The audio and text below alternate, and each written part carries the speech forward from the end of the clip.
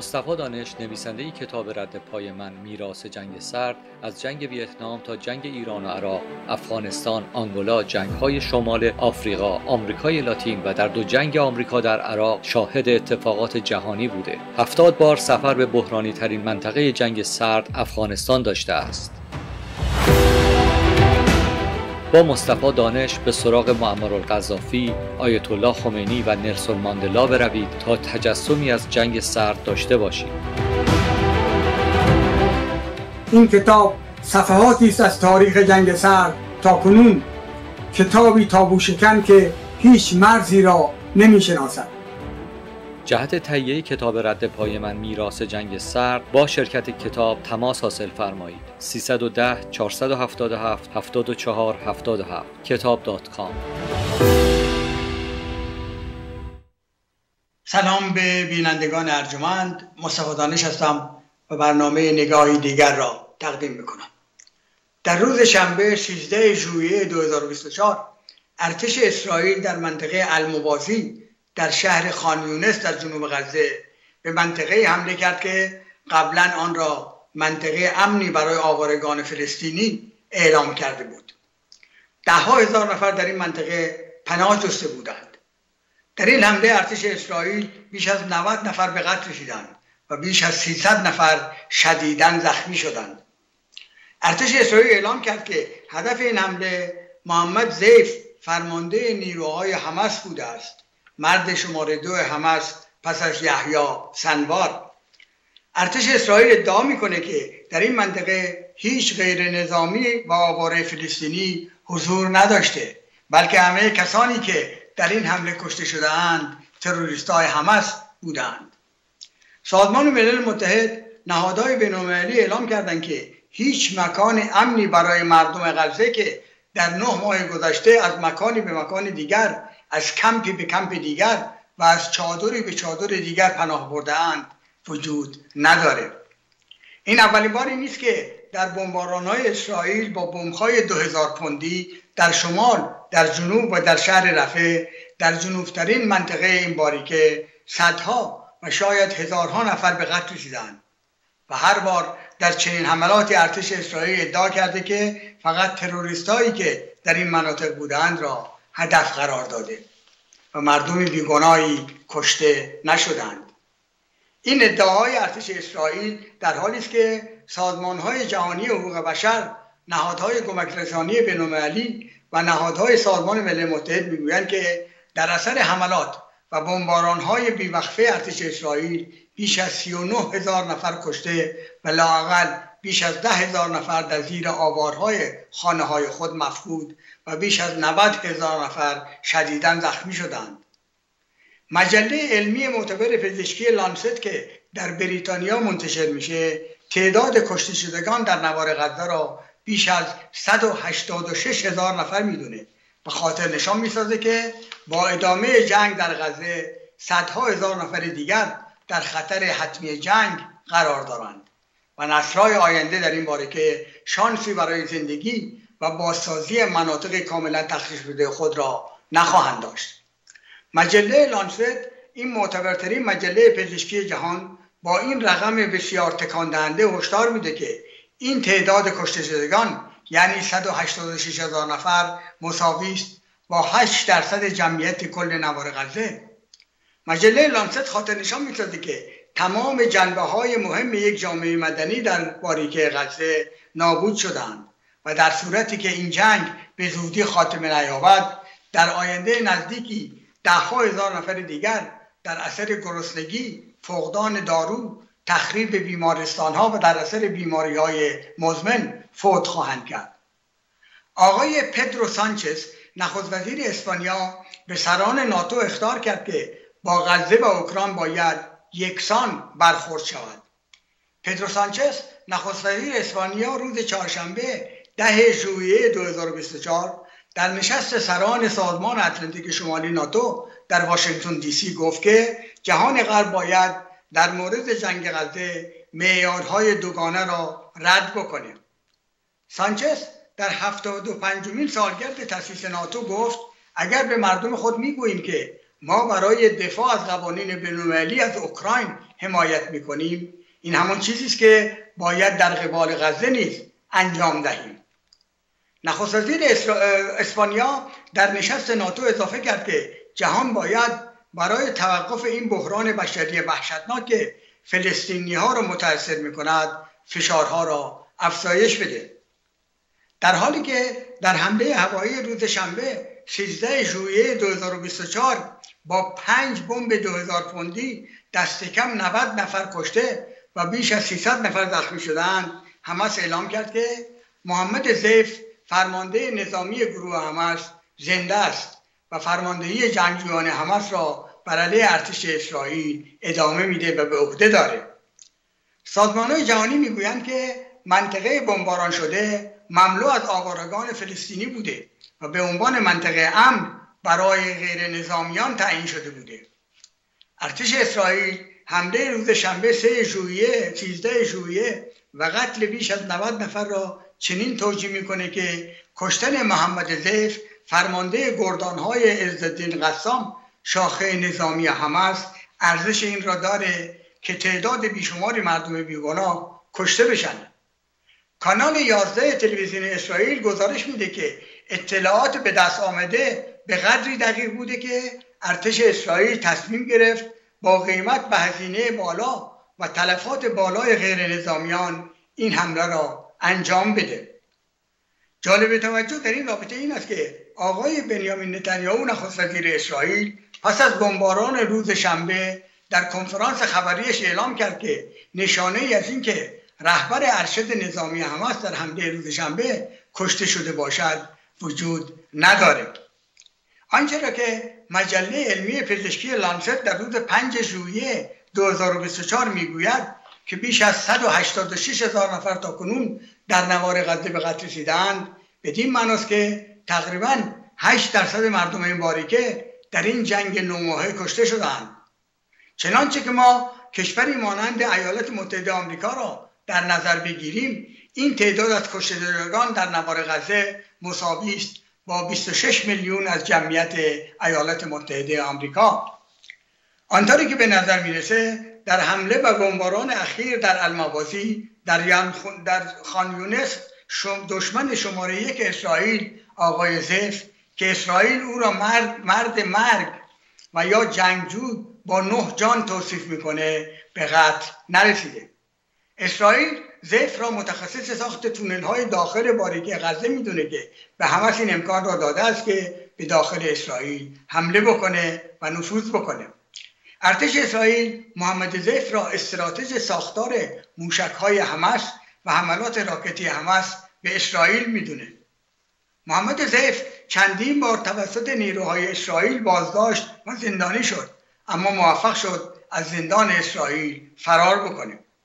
تا کنون او بارها هدف سوء قصد توسط نیروهای اسرائیلی بوده. ولی هر بار او به شکل معجزه آسایی جان سالم به در برده. اما ارتش اسرائیل چندین بار او را کاملا معلول بدون دست و پا قلمداد کرده که یکی از چشمانش را از دست داده و قادر به صحبت کردن نمی باشد. در واقع ارتش اسرائیل به دنبال شبه و یا یک شخصیت خیالی است که با توصیفی که ارتش اسرائیل از او می‌کنه شخصی بدون پا دست و چشم بدون قدرت بیان چگونه این شخص قادره به گفته آقای نتانیاهو 26 گردان حماس به عبارت دیگر هزاران جنگجوی حماس در داخل تونل های در هم تنیده و در خارج از تونل ها در حملات آنها به ارتش اسرائیل که هر روز تعدادی از سربازان اسرائیل را به قتل میرسانند و تانکای اسرائیل را منفجر می‌کنند و هنوز پس از نه ماه جنگ به سوی اسرائیل راکت پرتاب می‌کنند را فرماندهی و رهبری بکنه در واقع با توصیفی که ارتش اسرائیل و دولت آقای نتانیاهو از دشمن شماره یک خود محمد زیف می‌کنه او هرگز نبایستی قادر باشه ارتشی چند, چند هزار نفری حکمت را فرماندهی بکنه که پیش از نه ماه جنگ نه ماه جنگ شدید و بمباران های ویرانگر هنوز دست به عملیات نظامی می‌زنه و ارتش اسرائیل نتونسته کاملا بر آن چیره بشه. بنابراین این شخص این فانتومی که ارتش اسرائیل او را در دو دهه است که تعقیب می‌کنه میبایستی از صحت نسبی برخوردار باشه. قادر به حرکت سریع از تونلی به تونل دیگر از منطقه به منطقه دیگر باشه. قدرت بیان و صحبت کردن داشته باشه تا بتونه به عنوان مغز متفکر حماس یک ارتش پارتیزانی را فرماندهی بکنه. روزنامه واشنگتن پست در روز ده ژوئیه 2024 در گزارشی در رابطه با اجلاس سران کشورهای عضو سازمان اتلانتیک شمالی در واشنگتن دی نوشت تنها چند ماه بمباران در نوار غزه بیش از چندین سال جنگ در اوکراین ویرانی به بار آورده. و این باری که کاملا تخریب شده و بازسازی آن دهها سال به طول خواهد کشید. حمله اخیر اسرائیل و کشته شدن بیش از 90 فلسطینی آواره آن هم در منطقه ای که به عنوان منطقه امن اعلام شده بوده و اینکه به احتمال بسیار زیاد محمد زیف در این حمله به قتل نرسیده فاجعه دیگری است برای آقای بنیامین نتانیاهو نخست وزیر اسرائیل که در دیوان بینالمللی دادگستری کشور اسرائیل توسط آفریقای جنوبی متهم به نسکشی می باشد و دادستان دیوان بینالمللی کفری خواستار صدور حکم دستگیری آقای نتانیاهو و آقای آبیو گالاند وزیر دفاع اسرائیل شده. در واقع تمرکز اجلاس سران کشورهای ناتو در واشنگتن بر وضعیت اساسناک اوکراین و جنگ روسیه در اوکراین معطوف بود. اما هیچ سخنی در مورد جنگ غزه که توجه جهانی را از جنگ روسیه در اوکراین دور کرده و توجه مردم جهان به ویژه جنوب جهان را متوجه غزه کرده است به میان نیامد این در حالی است که بسیاری از منتقدان به شکاف میان خشم آمریکا و اروپا از جنگ روسیه در اوکراین و همزمان سکوت آنها در رابطه با جنگ اسرائیل در غزه اشاره می کنند. نشست سران ناتو از روز سهشنبه 9 ژوئیه در واشنگتن آغاز شد و در روز پنجشنبه 11 ژوئیه 2024 خاتمه یافت. آقای ینس استولتنبرگ دبیر کل ناتو در افتتاحیه نشست سران ناتو در آمریکا گفت که پیروزی روسیه در اوکراین ایران و چین و کره شمالی را جسورتر می‌کنه آقای استولتنبرگ که نتیجه جنگ اوکراین گفت که نتیجه جنگ اوکراین امنیت جهانی را چندین دهه شک خواهد داد. او هشدار داد که این موضوع هزینه خطر بزرگی به دنبال خواهد داشت. آقای ینس استولتنبرگ ایران چین و کره شمالی را به حمایت از روسیه متهم کرد و گفت که همه آنها می‌خواهند که ناتو شکست بخوره. قبلا هم استولتنبرگ هشدار داده بود که سه کشور ایران روسیه و چین اتحاد اقتدارگرایان را تشکیل دادند و آنها در حال همکاری بر علیه دموکراسی های غربی می باشند.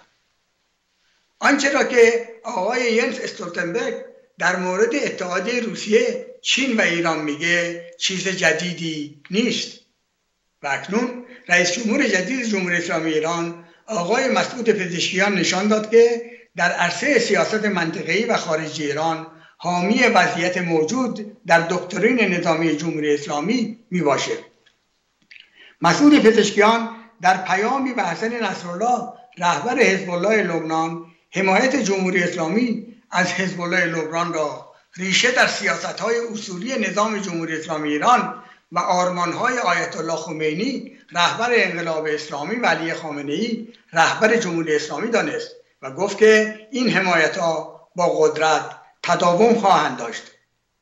آقای پزشکیان ضمن موضعگیری علیه ایالات متحده آمریکا و اروپا گفت که او به عنوان رئیس جمهور ایران روابط با روسیه و چین را گسترش میده.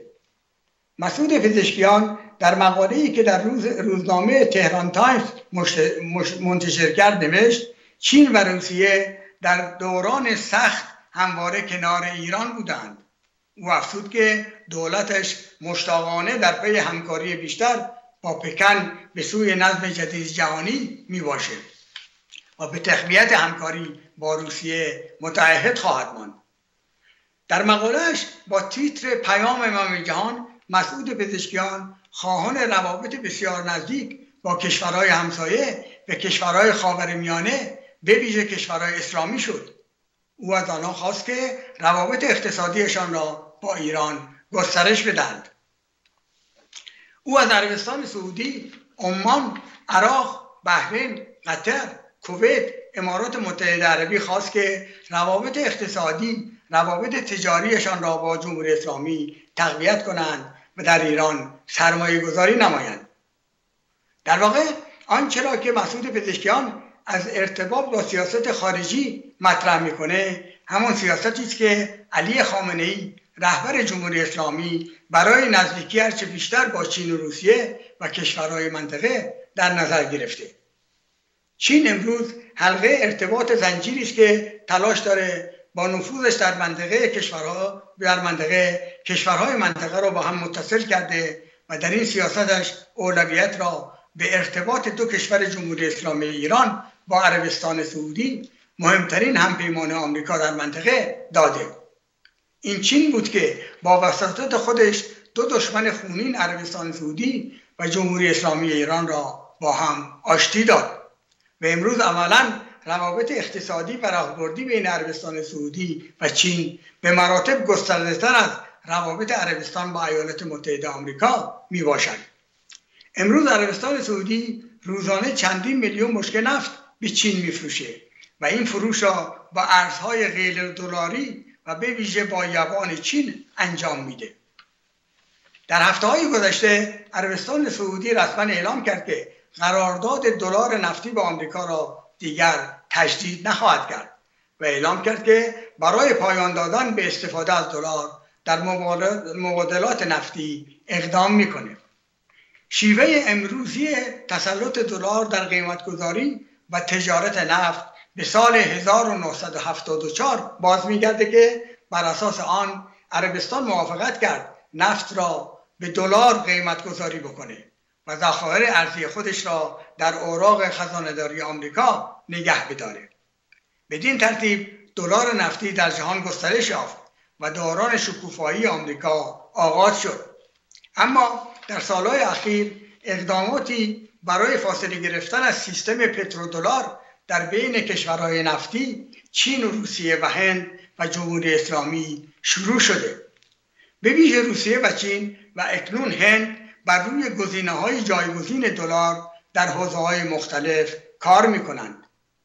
امروز عربستان سعودی به دنبال فروش نفت خود به یوان چینه این سیاست عربستان سعودی را بسیاری از کارشناسان آغاز افول نقش دلار و نقش کاخ سفید در تجارت جهانی می‌دانند.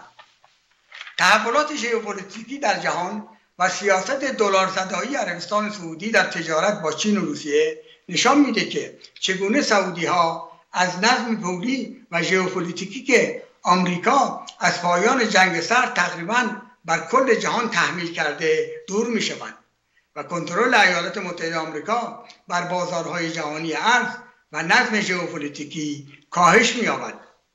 در روز 5 تیر 1304 شاهزاده خالد خالد ابن سلمان وزیر دفاع عربستان سعودی در سفر رسمی به پکن با وزیر دفاع چین دیدار کرد. پکن و ریاض از دهه 1980 میلادی روابط تسلیحاتی مستحکمی با هم برقرار کردند و در این چند دهه اخیر عربستان موشکهای میانبرد و موشکهای بالستیکی و با برد 1700 کیلومتر از چین خریداری کرده و همچنین همکاری وسیع در زمینه پهپاتی وجود داره و آنها همکاری در ساخت تسلیحات موشکی دارند و چین در عربستان کارخانه ساخت موشک بالیستیکی احداث کرده و در سال 2023 با سفر شی جین پینگ رئیس جمهور چین به ریاض توافق راهبردی بین عربستان و چین امضا شد. امروز چین روابط اقتصادی گسترده با عربستان شامل تبادل تجاری عظیم در حدود 110 میلیارد دلار داره و مضاف بر این سرمایه ها در بخش های مختلف در عربستان داره. در واقع ضربه ای که امروز این همکاری اقتصادی نظامی فناوری و علمی بین عربستان و چین و آمریکا وارد می‌کنه به مراتب خطرناکتر از دشمنی جمهوری اسلامی و آمریکا می باشه و به نظر می‌رسه که آقای مسعود پزشکیان در صدد از شکافی که روز به روز بین عربستان و آمریکا بزرگتر میشه برای نزدیکی به عربستان سعودی با فضادت و نفوذ چین استفاده بکنه تا با همکاری اقتصادی با کشورهای ثروتمند منطقه بتونه تحریم های آمریکا برای جمهوری اسلامی را تا حدی خونسا بکنیم در فرصت باقی مانده از آقای فرمان خواهش مندم که یک بار دیگه ویدیو آگهی کتاب نشون بدن. قبلا به شما به درود میگم تا برنامه آینده. مصطفی دانش نویسنده کتاب رد پای من میراث جنگ سرد از جنگ ویتنام تا جنگ ایران و عراق افغانستان آنگولا جنگ های شمال آفریقا آمریکای لاتین و در دو جنگ آمریکا در عراق شاهد اتفاقات جهانی بوده. هفتاد بار سفر به بحرانی ترین منطقه جنگ سرد افغانستان داشته است. با مصطفی دانش به سراغ معمر القذافی، آیت الله خمینی و نرسون ماندلا بروید تا تجسمی از جنگ سرد داشته باشید. این کتاب صفحاتی است از تاریخ جنگ سرد تا کنون کتابی تابو شکن که هیچ مرزی را نمی شناسد. جهت تهیه کتاب رد پای من میراث جنگ سرد با شرکت کتاب تماس حاصل فرمایید. 310 477 74 77 کتاب.com